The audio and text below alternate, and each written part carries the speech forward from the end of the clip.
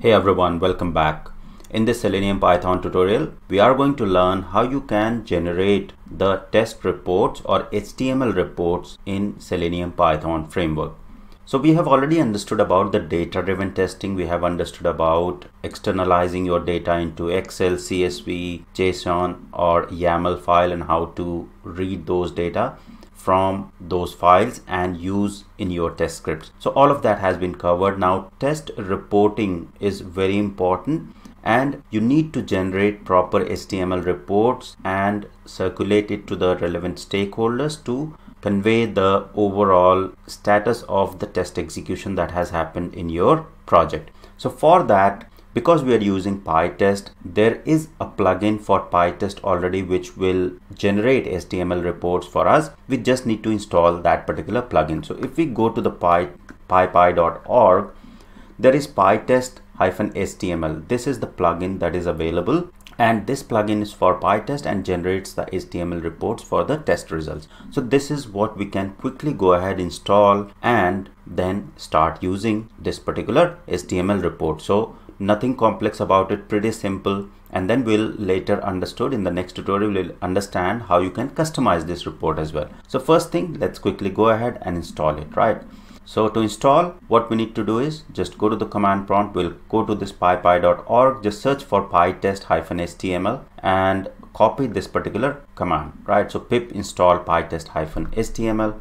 We'll go to the command prompt and paste the command there and it should start the installation right? So you will see that installation is pretty quick. It has successfully installed pytest html if you want to check the status of the packages that have been installed just say pip space list and in the list you should be able to see this pytest hyphen html and the version that has been installed right? So this is basically how you will install pytest or uh, pytest html right uh, package now, if you haven't watched the previous tutorial of the configuration of Python or how to install Python and configure the environment variable, I would highly recommend go back and watch from the beginning of this particular tutorial series because then you'll be able to grasp all the concept in a sequential way.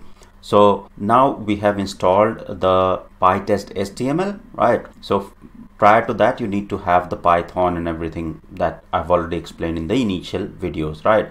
So if you have everything set up correctly you will be able to install pytest html plugin and you will get some message like this pytest has been successfully installed. Once it is installed we'll come back to our framework here right? Now nothing we don't have to do anything else. In order to generate the report if you go to the documentation here and we'll quickly go to the documentation. And here just go to the user guide. And then you will see in the user guide you will see how you can create a self-contained report. And what exactly self-contained report is all about is there are other files in your report. So for example css style sheets and all. So when you say self-contained report it will generate a convenient report which will you can share with other stakeholders. So you cannot you do not have to embed other files as well because if the css file are missing then the layout of the report might not look good.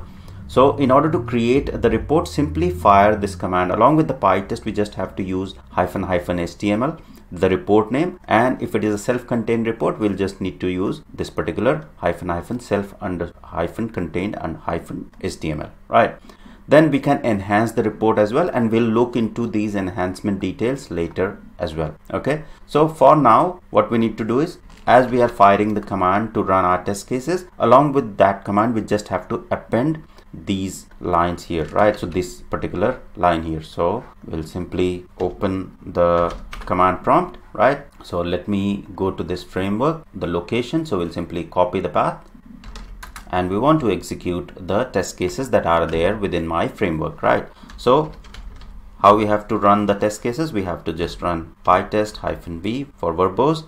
And then we need to pass the browser on which we want to run our test case right? So let's run it on chrome and the test url so the test url was yatra.com and along with this what we need to do is we need to basically pass these right? So hyphen hyphen html is equal to report whatever the name of the report and then self-contained html right? So let me copy and paste it here right? So that's pretty much it what you have to do in order to create this html report. And now because you have specified this report.html it will get created in this test framework demo hierarchy itself right? So the report will get generated. So html report report.html will be somewhere in this hierarchy in this particular folder. So let's quickly run it and see the report. So it will run the test case as usual but this time it will generate the html report with the name it's report.html so there is some issue with the data that is coming from csv but that's fine. The core concept here is to learn the report is getting generated. So the test case has failed. That's fine. And you will see the report.html file got created. Okay? Now if i right click and then you will see open and we'll open in the browser and let's open in edge. Right? You will see the report has been generated and it's available for us to have a look. Right? So you'll see the test case has failed and which particular test case has failed what data has been passed and then all the details have been basically captured in this particular report along with the logs if you see that it has captured the logs as well in this particular report so it's that simple to configure HTML report in your automation framework. Okay, so let's go back and quickly fix the issue. So there was some data issue and I will go to the test data and it was coming from CSV. So I think for let me change it to New Delhi to JFK. All right, and let's try to run it again.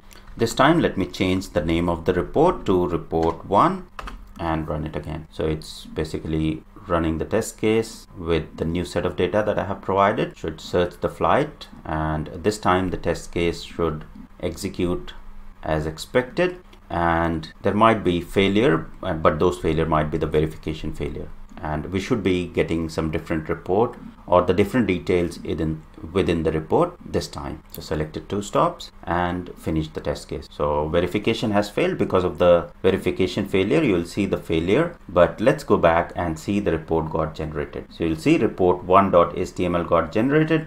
Let's open it and see the details in this particular report right? So you'll see the test case has failed and at this time it has captured the details of the new data that we have passed New Delhi to JFK and the details accordingly have been captured here. And if you scroll down all the failures that have happened all the verification failures that have happened have been captured in the report. And it's so easy now for us to go ahead and see where the failures are and debug the issues within our scripts right? So you'll see if I keep scrolling down all the issues have been captured here including the messages that we have logged and the logs that we have basically logged in our scripts okay? So that's how you are going to configure the report or creating the HTML report in Selenium Python framework. It is pretty easy simple just follow the steps that I have explained in this video and you should be able to capture all the details into the HTML report within your Selenium Python framework. So that's all for this tutorial. In the next tutorial, I'll explain how you can embed the screenshots within the same report whenever the test case fails. So I hope this was helpful. Thank you very much for watching.